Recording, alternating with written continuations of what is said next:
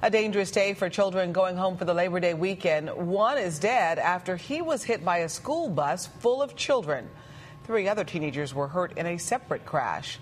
The accidents happened within hours of each other this afternoon. The first one was in Willis. That second one was in Northeast Houston. And Eyewitness News reporter Jessica Willey is live in the Texas Medical Center to explain how the weekend has gotten off on such a somber note. Jessica?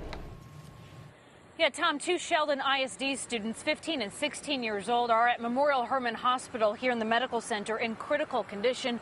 A Willis ISD student never made it to the hospital. Just minutes after the last bell rang today, tragedy struck. The holiday weekend had barely started, and already students in two school districts were victims. In Willis, an accident involving a school bus took one life. In Northeast Harris County, three teens were seriously wounded. They were my closest friends. Omar Gonzalez usually walks with the boys. On this day, he was lagging behind. It probably saved his life. It was bad.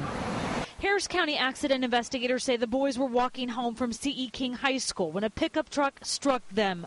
One flew over the hood, another was pinned underneath the truck, the third just fell down.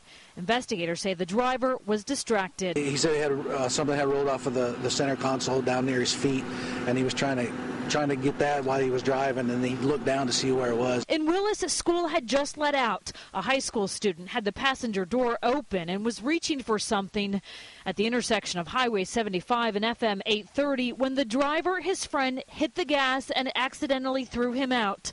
Within seconds, a school bus full of students struck and killed him. Willis ISD officials say the driver never saw the teen. Tuesday will be a difficult day.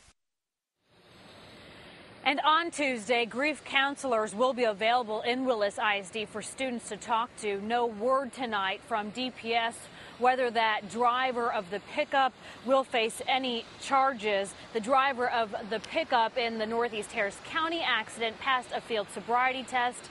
That investigation is ongoing. Reporting live tonight from the Texas Medical Center, Jessica Willey, 13 Eyewitness News.